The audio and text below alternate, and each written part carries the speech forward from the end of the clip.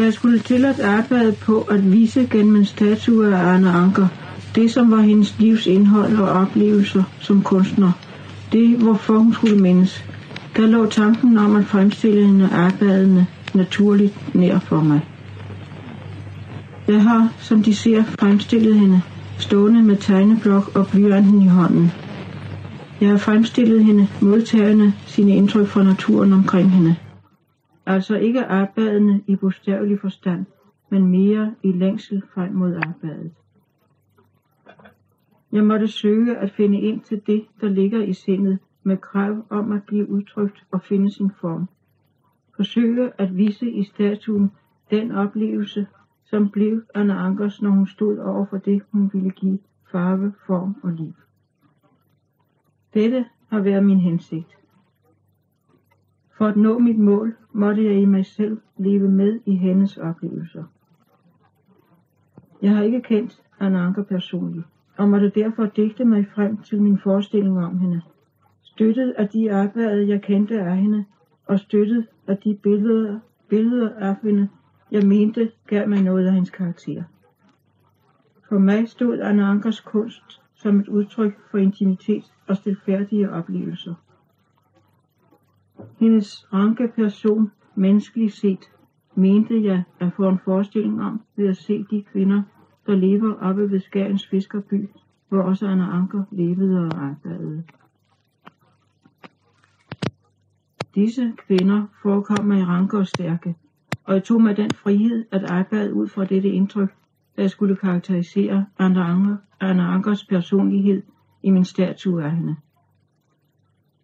Det gjaldt for mig om at finde en monumental holdning i min skulptur, uden at miste intimiteten i den. Jeg ville også give noget menneskeligt, så enkelt udtryk, som det var med muligt. Og jeg ville give et portræt af en bestemt person, men samtidig en fremstilling af noget, der var ud over denne ene. Noget, der havde almen gyldighed som udtryk for længslerne mod det, der eksisterer ud over dagen i dag. Et digt over det, der har en evig gyldig værdi. Digter man i skulptur? Jeg tror, man kan føle det sådan.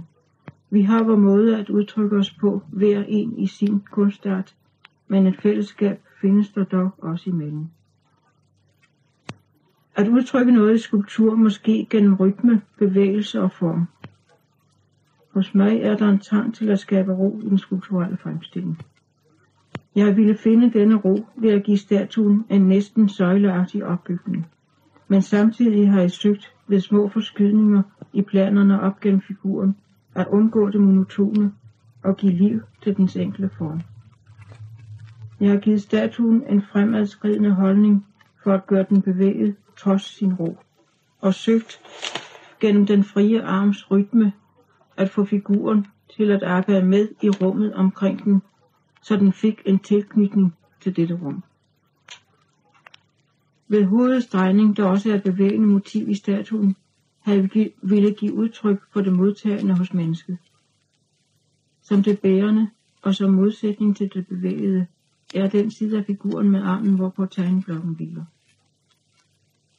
I denne side er det bærende motiv ført lodret gennem hele figuren, fra sokkens flade op til hovedets drejning udad.